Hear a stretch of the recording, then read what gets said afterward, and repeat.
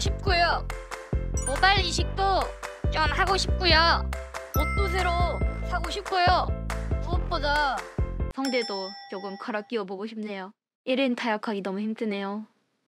공무원 치고 이 정도면 소박한 소원 아닌가요? Nope.